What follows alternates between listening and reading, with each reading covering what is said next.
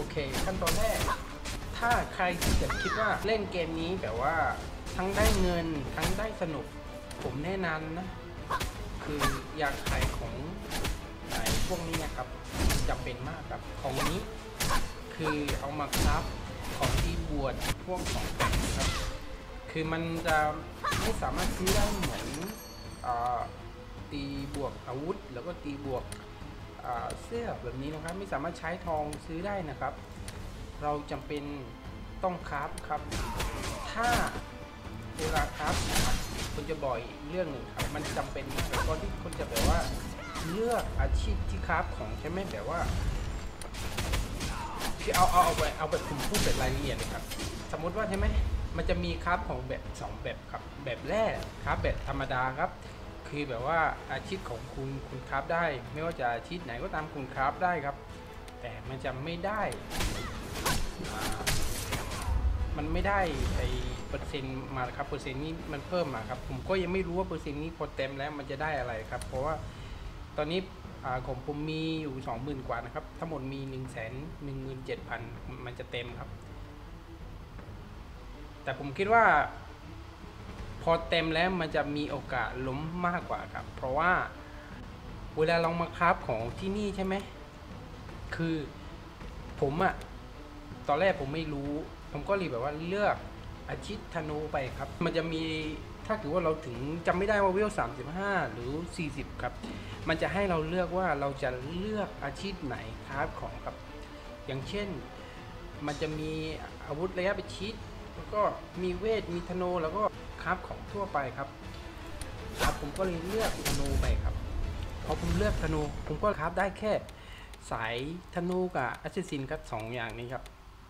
อันนี้ craft ได้เลย craft ฟรีได้เลยครับ แต่ก่อนที่จะ craft อะมันจะมีสองอันนะ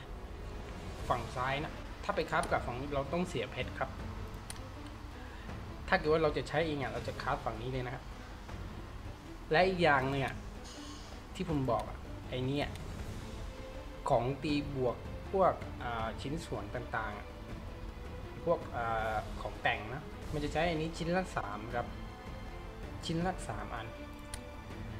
แล้วเราต้องใช้เพชร11 ครับ 11 นะ อย่าลืมนะ ผมจะใช้อันนี้ครับครับสองครั้งมันจะแบบว่ามีล้มถ้าเกิดว่าเราชอบดีใช่ไหมเราครับหนึ่งครั้งแต่ว่าเราอาจจะได้สองอันมาประมาณนั้นครับ คือ ไอ้ที่สำคัญอะ ผมจะบอกก็คือแบบว่า ถ้าใครที่จะครับเราเสียเพชร 11 อันใช่ไหม ฉะนั้นก่อนที่เราครับของใช่ไหมไอ้ยาผมไม่มีไอ้นี่ว่ะ เอาผมไปซื้อให้เลยก็ได้ อ่าเพื่อที่จะจะได้เหมือนกันครับ โอเคห้าอันผมมีอยู่เพชรแค่สิบเอ็ดนะผมซื้อให้เลยครับ เพราะว่าในไหนๆเซิร์ฟ global แต่ผมก็ไม่ได้ใช้แล้ว อ่าโอเค ผมซื้อมาเลยนะ แล้วก็ผมก็จะมา craft ให้ดูว่าอ่อ ชิ้นส่วนนี้ ถ้าสมมติว่าเรา craft ได้ผมมี 6 ชิ้นใช่ไหมผมสามารถ craft ได้ 2 อัน โอเค แล้วกด craft ใช่ไหมเนี่ย ถึงหน้านี้มันสำคัญมากครับ เราต้องเลือกอันที่สีฟ้าครับ อย่าลืมมาติ๊กที่สีฟ้านะครับเพื่อเราได้ชอบดีบ้าง ถ้าเราชอบดีก็คือแบบว่าเราจะได้ครับครั้งหนึ่งครั้ง เราอาจจะได้ 2 อันครับ แล้วทุกครั้งที่เราคราฟของเราจะเสีย11เพชรครับ ฉะนั้นเวลาเราคราฟเราเก็บอันนี้ เยอะๆนะครับ แล้วมาคราฟครับจะได้เราจะไม่เสียค่าทำของครับ เพราะว่า ต่อให้เราคราฟกี่ชิ้นเราก็เสีย 11 เพชรเหมือนกันครับ แล้วเราจะคราฟเยอะๆใช่ไหมต้องมาใส่ในนี้ครับ แล้วนนี้เป็นส่วนตัวกับแฉนะครับผมแนะนำให้เลือกแฉนะครับเผื่อเราอ่าได้ขายออกบ้านแต่ผมไม่แน่นะ ผมก็ไม่เคย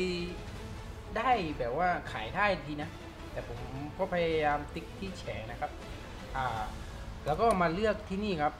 อ่าผมมีผมสามารถคราฟได้2ชิ้นใช่ไหมผมก็จะกด 2 โอเคสามารถผมกดได้ 2 ชิ้นอ่าผมคราฟได้ 2 ชิ้น แต่ถ้าเกิดว่าเรามาคราฟทีละชิ้นใช่ไหมคราฟหนึ่งชิ้นก็เสีย 11 เพชรคราฟหนึ่งสองชิ้นก็คราฟอ่า11เพชรหรือว่าคราฟ10 ชิ้นหรือร้อยชิ้นก็ 11 เพชรเหมือนกัน เอาทุกคนลองคิดดูครับ ตอนแรกผมก็เหมือนกัน ผมไม่รู้ ผมก็หรือว่าต้องเสียค่าทำของอะเสียเพชรเยอะมากครับจนกระทั่งผมคิดว่าผมจะไปซื้อในตลาดครับ แล้วผมก็มาแล้วมาติดในนี้ดูเอาเห็นว่าโอ้ครับได้ทีเดียวนี่หว่าหลายหลายๆอัน แล้วเราก็เสียแค่11เอ็ดเพชรผมก็เลยรู้มาเป็นเป็นแบบว่าความรู้ที่แบบว่าสำคัญมากครับถ้าเกิดว่าผมไปเล่นในเซิร์ฟเปิดจริงนะครับ แล้วก็อย่าลืมนะครับ อย่าลืมมาติ๊กตรงนี้นะครับ แล้ว อย่าลืมอีกอันนึง มันสำคัญเหมือนกัน เวลาเราครับผมจะไม่เผื่อเราไปติ๊กแบบว่าไออันสุดท้ายอันสุดท้ายนี่ผมก็ไม่รู้เหมือนกันผมเคยครับของละหนึ่งครั้งแต่ผมมีไม่ได้ของเลยครับ ไม่รู้ว่าเป็นเพราะอะไร แล้วเรามาติ๊กแบบนี้เล่นๆใช่ไหมแล้วไปคราฟของใช่ไหมเราจะเสียนะครับ เพราะว่ามาดูตรงนี้มันจะกลายเป็นเลขหนึ่งอัตโนมัติครับ เพราะว่ามันเป็นระบบของเกณฑ์นะอาจจะทำให้เราไอ้นี่ไงมันก็ถือว่าไม่ได้หลอกแล้วนะแต่ว่ามันเราต้องดูดีๆอะพอเรากด แบบนี้แล้วก็เราอย่าลืมกลับมาเปลี่ยนตั้งค่าไอ้นี้ใหม่นะสองอัน เห็นไหมผมต้องมีเพชรอีก เพื่อจะมาคราฟได้ แต่ผมคราฟไม่ได้เพราะผมไม่มีเพชรนะครับผมลืมไป แต่ก็ถ้ากดคราฟก็คือกดคราฟได้เลย มันจะเสียเพชรแล้วก็ได้ของเลย เราได้ของ มารับที่นี่ครับมารับในนี่แล้วก็มารับที่นี่ครับได้เลยผมแนะนำให้เก็บของพวกนี้นะครับอของอันนี้ก็เก็บไว้ครับในเซิร์ฟเกาหลีอะมันแจกครับ พอเราจะถึงโง่45 มันก็จะแจกครับแจกเยอะมากเป็นร้อยเลยอะอันนี้ก็ผมแบบว่าได้รับมันจะแจกเท่านั้นนะแล้วก็ มันจะไม่มีตาช่างครับไม่สามารถขายได้ ฉะนั้นเวลาเราไปลงดันเจียนมาใช่ไหมเราได้ไอ้นี้มาใช่ไหมมันจะขายได้ เราต้องลบไว้ครับไอ้ที่ขายได้เราต้องลบไว้เหลือเราจะไปกดใช้แล้วมันดึงไปใช้อัตโนมัติครับนั้นเราจะเสียหายมากครับ ถ้าเกิดวันไหนวันหนึงเราเหลือเราสามารถขายได้ครับ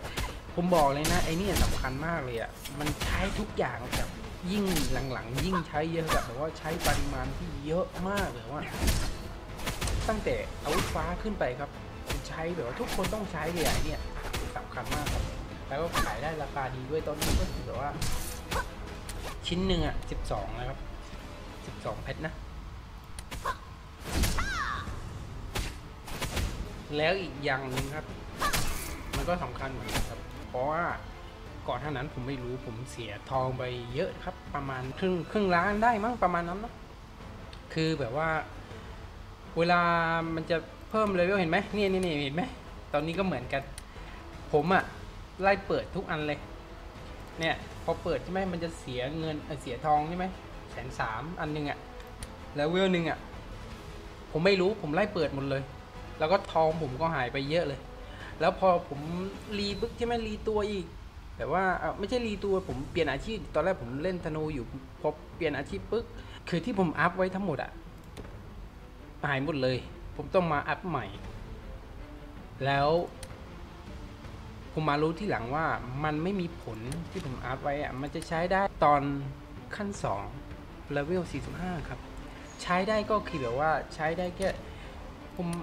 คือมันให้แต้มมัน 10 แต้มนะ แต่ว่าผมใช้ไปเนี่ย แค่อันเดียวก็5แต้มนะ ผมใช้ได้แค่เลือกได้แค่ 2 อันนะครับ เหลือหนึ่งแต้มฉะนั้นถ้าใครที่ยังไม่ถึงเลเวล 45 ยังไม่ได้เปลี่ยนคราฟใช่ไหมไม่ต้องไปอัพอันนี้ครับ มันจะทำให้ทองของคุณเปลือนมากครับ เส้นเปลือนครับ แล้วพอคนจะเปลี่ยนอาชีพหรืออะไรมันก็จะหายไป โดยไม่ได้อะไรกลับมาครับ แล้วก็เราต่อให้เราอัพไปก็ เราก็ไม่ได้อะไรครับ แต่ไม่แน่นะไอ้พวกนี้อะไอ้พวกที่บอกว่าไอ้ตีบวกอะไรมันนั่นน่ะอ่ามันจะมีอยู่บ้างบวกหนึ่งไอ้ป้องกันหนึ่งไอ้ไม่รู้ว่ามันจะได้เข้าตัวไหมนะผมผมก็ไม่แน่นะ ถ้าคือว่าเรา tick เข้าไปแล้ว แต่ผมว่าไม่คุ้มอะ แต่ผมผมก็ไม่ up เลยเพราะว่า ผมรู้เลยไงเพราะว่ามันทำให้เสียเสียทองเราฟรีๆครับ เพราะว่าทองในเกมนี้สำคัญมากครับ มาซื้อแบบ skill skill แบบว่า craft ของอะไรต่างๆ มันเหมือนว่าใช้ทองเยอะมากครับจำเป็นแบบเนี่ยแบบสกิลผมนี่ผมซื้อมาแบบว่ากว่าจะได้สามแบบว่าข้างล่างสองล้านห้าข้างหนึงอะสองล้านห้าผมจะผมจะร้องเลยอะเงินจะไปหามาจากไหนใช่ไหมท่านอะเกมนี้ผมว่า ยาวๆเลยแหละต้องมาดูอีกทีว่าใครที่มีความอดทนไหมถ้าไม่มีความอดทนก็ผมว่าไปกับแน่ผมบอกเลย และอย่างผมแนะนำนะเลยว่า ใครที่จะเล่นเกมนี้ฟาร์มอย่างเดียวสายฟรีจะฟาร์มขายของใช่ไหมผมแนะนำให้เล่นเวทกับธนูครับ คือแนะนำดีที่สุดก็คือธนูครับเพราะว่าเวทก็คือแบบว่าต้องมี mana mana ไม่พอก็ถ้าเกิดว่าเราเปิด skill หมดอะ เราเปิดเฉพาะ2 skill ก็ได้ครับ ถ้าเปิดถ้าถ้าคิดจะเล่นเวทนะครับ แต่ธนูมันก็เหมือนกันธนูว่าผมเปิดสาม skill ปุ๊บแบบว่า mana ลดผมต้องอีกหนึ่งแล้วก็ mana เพิ่มไหมผมก็เปิดไมค์แบบนั้นนะผมก็วนไปเรื่อยๆแบบนั้นผมแนะนำธนูมากกว่าครับ ถ้าใครที่อยากเล่นเวทก็คือแบบว่าปิด skill บางอันไว้ก็ได้ PVE skill PVP มันก็แรงอยู่นะแล้วมีอะไรอีกไหมเอ่ยไอ้พวกรูนต่างๆ ไอ้พวกนี้ก็คือแบบ มันก็ต้องเปลี่ยนคราฟก่อนนะ ถึงจะได้เพราะมันจะเพิ่มเลือดเพิ่มป้องกันเพิ่มดาเมจมานะเก็บเอาผมพูดเลยก็ได้ฮันคลิปเดียวจบทุกอย่าง อันนี้ก็คือแบบว่าเพิ่มแบบว่าเลือกพวกเลือกพวกอะไรนะแต่ก็ผมก็ไม่รู้ทีว่ามันจะ มีผลอะไรมากมายขนาดนั้นนะ เพราะว่าผมรู้แค่ว่าใช้อันนี้แล้วก็เลือกผมเพิ่มมาหลายพันอยู่แล้วก็อ่าดามิ PVE ก็ประมาณหนึงนะเพิ่มมาแล้วมันเราเราต้องมาเลือกเอาครับแบบว่าเราให้ชิ้นส่วนมันเหมือนกัน แต่ว่ามันมันจะไม่เหมือนกันครับเห็นไหมอันนี้คือแบบว่าตีธรรมดาทั่วไป ตีธรรมดาก็คือแบบว่ายิงธรรมดาบวกหนึ่งอันนี้ก็คือ PVE บวกหนึ่งตีตี PVE ตีบวกหนึ่งครับ คือแบบว่าต่อยชิ้นส่วนมันไม่เหมือนกัน แต่ว่าบางคนก็แบบบางบางชิ้นก็บอกว่าเป็นลมบางชิ้นก็บอกเป็นเวท แต่ผมก็ไม่เข้าใจว่ามันใช้ร่วมกันได้ไหมแต่ผมก็ลงมาใช้ดูรวมๆนะครับ มันจำกัดชนิดละใส่ได้แค่ 6 ชิ้นครับ ผมก็เลยอ๋อมันจะมีช่องว่างอีกเยอะ ผมก็เลยลงมาใส่ทั้งหมดนะครับ แต่มันก็รวมๆ มันก็แบบว่าบวกมานะบวกเลือกบวกอะไรมาดูอ่าที่มันบวกก็คือแบบว่าไหนบ้างอะ เอานี่มาดูในนี้ครับ มันจะมีบอกอยู่นะ บวกอะไรบ้างอะ PVE บวก5อ่าป้องกัน5ไอ้ไอพวกนี้ผมก็อาผมแปลให้ดีก็ได้อ่าอันนี้ก็คือป้องกันนั่นแหละเอาถือว่าป้องกัน 5 อันนี้ลดอ่า critical damage 5ครับ แล้วก็ลด damage สกิลครับ 5 ครับอ่า PV บวก 5 แล้วก็ตากันเด่นของเลือกบวกบวก 2 ครับ แล้วก็ป้องกัน 5 ครับ ป้องกันแบบว่าไม่ได้ทำอะไรอันนี้ก็เหมือนกันครับตีห้าแล้ว PVE สามอะไรเลือกห้าร้อยเดี๋ยวตัวเกมเปิด เปิดก็คือแบบว่าเราสามารถไปศึกษาได้ด้วยตัวเองเลยครับ เพราะว่ามันมีภาษาไทยอยู่ครับผมว่าง่ายกว่านี้นะครับอ่า แล้วอันนี้ก็สำคัญนะอันนี้ก็ผมแนะนำว่าเก็บไว้เลยนะพยายามเก็บไว้นะครับเพราะมันใช้เยอะมากมูลค่าของชิ้นมันใช้ไอ้นั่นหมดเลยอะชิ้นละ 15 ครับ อันละ 15 สมมติว่า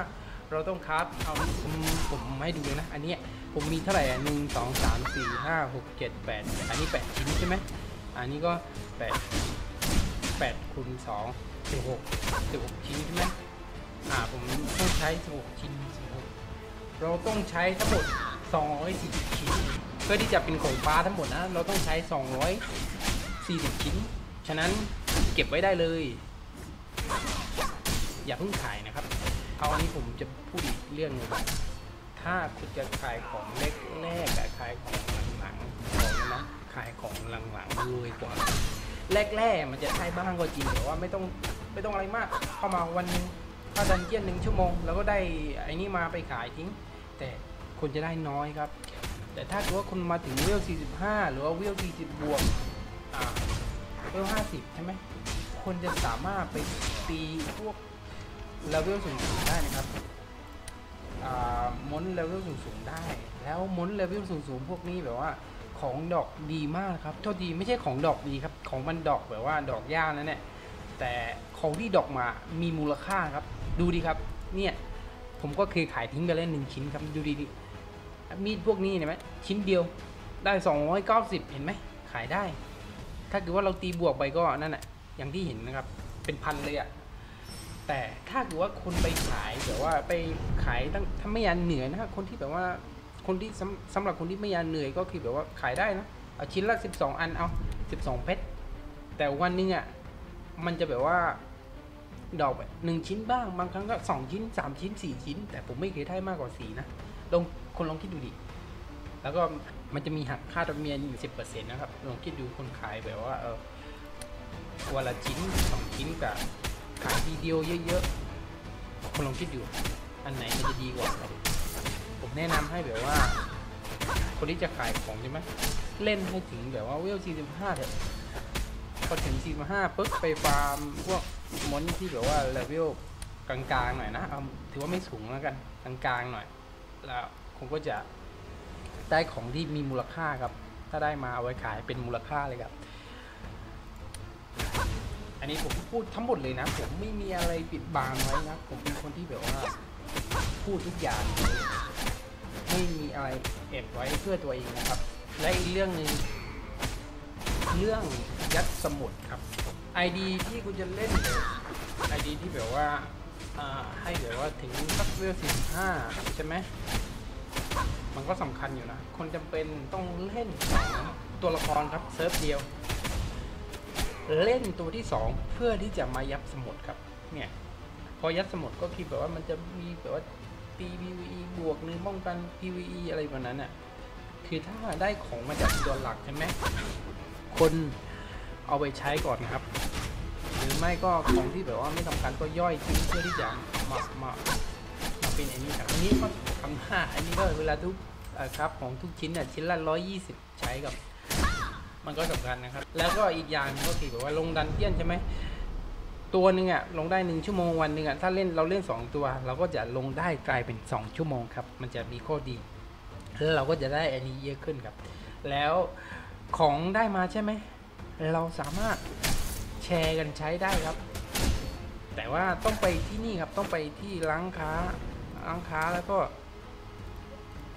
อ่าต้องมาที่เก็บของครับที่เก็บของแล้วมันจะมีแบบว่าที่เก็บของส่วนตัวกับที่เก็บของแชร์ครับ ถ้าเกิดว่าของที่ขายได้มีมีตราช่างสามารถเอาไปใส่ในที่เก็บของแชร์ให้แชร์นะครับได้ครับ สามารถดึงจากตัวนู้นก็ได้ตัวนี้ก็ได้ครับ มันก็เป็นข้อมูลสำคัญเหมือนกันครับ แล้วอีกอย่างนึงครับ คนที่แบบว่า และอีกเรื่องหนึ่งที่สำคัญเหมือนกัน คนที่สมมติว่านะ ผมตอนแรกเล่นธนูอยู่ใช่ไหม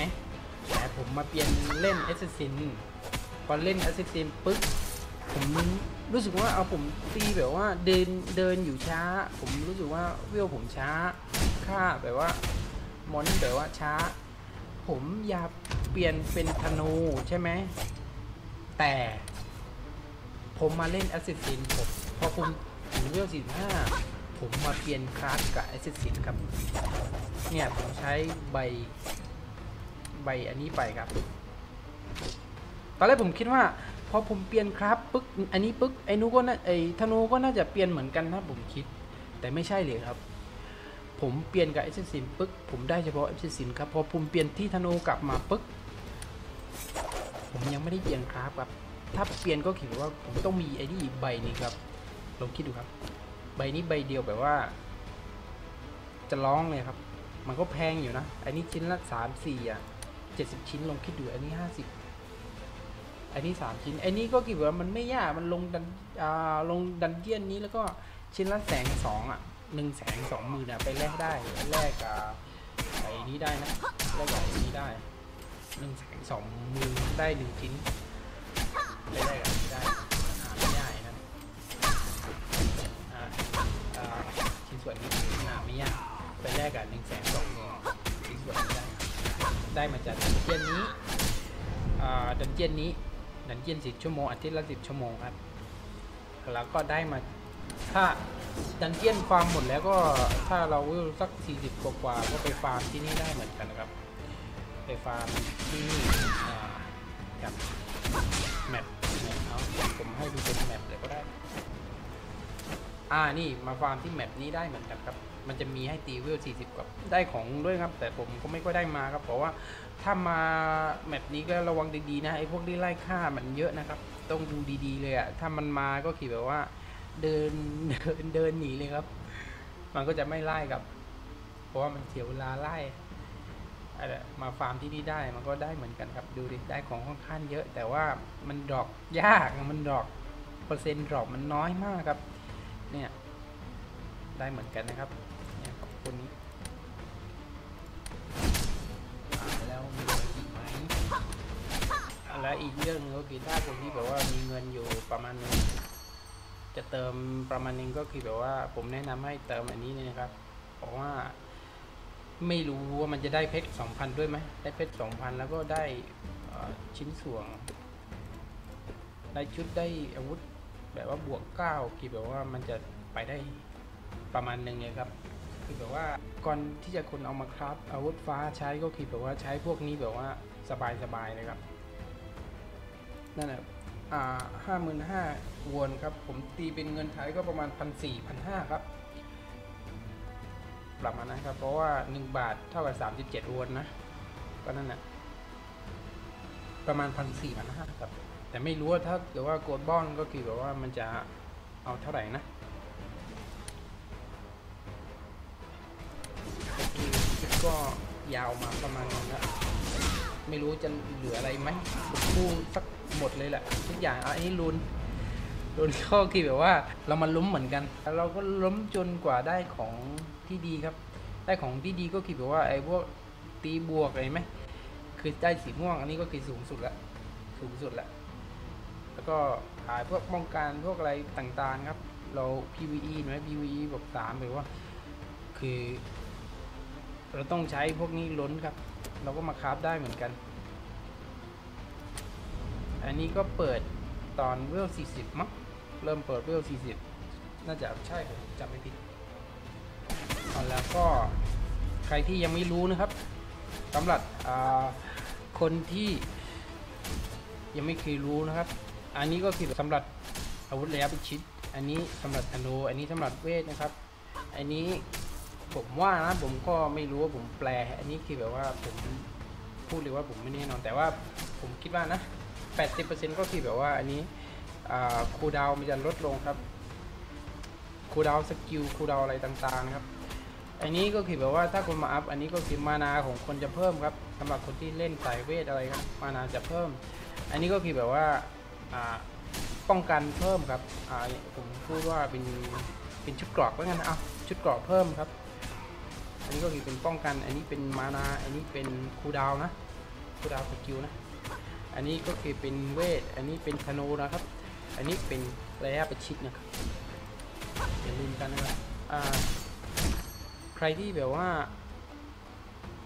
ยังไม่รู้ว่าซื้อใบดีบวชอาวุธเพราะว่าตอนแรกผมก็เหมือนกันผมไม่รู้ผมไล่หาแบบ หาไม่เจอเลยอะไม่มีที่ซื้อผมมากดดูในนี้ ผมก็เลยรู้ครับเอาละไอ้เรื่องสำคัญเรื่องหนึ่งเนี่ยมันมีกาชาผมล้นแบบว่าผมลุ้นแบบว่าจนแบบว่าเงินผมหายไปไอ้ทองผมหายไปเยอะเลยอะ ผมก็ไม่เคยได้ของดีเลย ผมแนะนำให้เก็บทองไว้เถอะครับ มันไม่ดี มันเหมือนเหมือนผมเห็นว่านะ เหมือนระบบเผาเงินของเกมเลยอะผมว่านะผมเห็นนะอันนี้อย่าไปสุ่มเลย ไม่ได้อะไร รอไอ้แต่ว่าใน global น่ะมันจะให้หรือเปล่าไม่รู้นะแต่ในเซิร์ฟเกาหลีมันจะให้เวล 45 ใช่ไหม มันจะให้อาวุธม่วง มันจะให้อาวุธม่วง รอเวล 45 ดีกว่า ดีกว่าครับ เรอเวล45ดีกว่าครับ อ่า แล้วก็พอเวล50ก็ให้สับม่วงครับ ผมว่าเอาเวลดีกว่าครับ แล้วก็เก็บเงินไปซื้อขายไปครับของดีกว่าครับ มันหายากครับเกมนี้แล้วก็ใช้เยอะด้วยสำคัญด้วยครับ โอเคนะผมเชื่อน่าจะหมดแล้วนไอ้พวกที่ก็เวลาครับ เวลาดันเจียนเราหมดใช่ไหมเราก็จะไปเพิ่มได้ครับไปกดพุ่มตรงนี้ได้ อันนี้ก็คือว่าเพิ่มของ dungeon ไอ้นี้ครับหาเงินครับ อันนี้ก็ dungeon ไอ้นี้ครับ แต่ว่าอันนี้ก็ต้องลงนะวันละ มันจะมีเข้าไปก็วันละมันวันละหนึ่งครั้ง ถ้าเรามีสองเราเข้าได้สองเซตก็คือแบบว่าเข้าสองอันเลยมันจะได้ของไอ้นี่เยอะครับ มันมันไม่เหมือนกันครับ ได้ทั้งสองเซิร์ฟครับพอเซิร์ฟหนึ่งทำภารกิจเสร็จก็ไปอีกเซิร์ฟหนึ่งครับ มันก็จะได้สองครั้งครับ ถ้าใครที่เข้าได้หลาย ๆ ครั้งก็ไปครับ ไปหลายๆเซิร์ฟเลยมันก็จะยิ่งได้เยอะ อันนี้ก็ดัน EFP นะ ผมลงอยู่เหลือสิบหกนาที อันนี้ก็ด่านนี้ก็ตีของพวกนี้ได้ว่างแต่มันได้น้อยมากครับครับยากที่จะได้ครับ โอเคครับ ขอบคุณทุกคนที่ดูมาถึงนี้นะครับ ผมคิดว่าหลาย ๆ ท่านน่าจะได้ประโยชน์เยอะจากอ่าคลิปวิดีโอของผมนะครับ ถ้าได้ประโยชน์ก็อย่าลืมกดไลค์กับถ่ายให้ผมด้วยนะครับขอบคุณ สำหรับดูช่องผม